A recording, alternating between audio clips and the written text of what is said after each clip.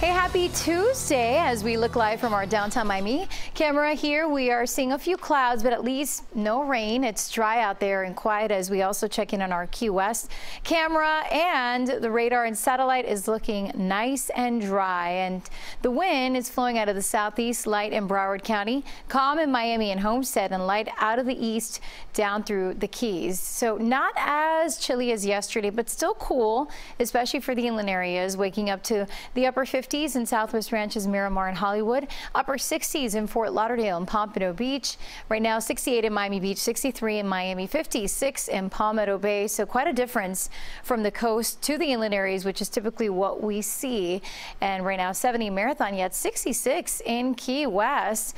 Around the rest of the state, 53 in Orlando, low 40s across the Big Bend in North Florida and Gainesville and Jacksonville, 51 in Tallahassee. So most everyone right now across the Sunshine State 9 to 16 degrees warmer in comparison to yesterday. And so by the afternoon, you'll be peeling off a layer because we are going to see those highs climbing to around 80 degrees, 79. So yes, warmer in comparison to yesterday with plenty of sunshine. A great day to head to the beach. Only a slight risk of rip currents. UV index, it's high, so you'll need that sunblock. And don't forget, of course, to reapply. You'll need those sunglasses too. For boaters, wind southeast 10 to 15 knots, east 2 to 3, and a light chop on the bays. Tonight, comfortably cool with the upper 60s along the coast, inland areas in the low 60s. So dry air in place today, but as we head into your Thursday, notice how the moisture begins to creep in and then even more moisture on Thursday, especially Friday when the rain chance will be highest. The cold front is on the way and it looks like it's going to stall out. Not going to be one of these fronts that helps to clear us out.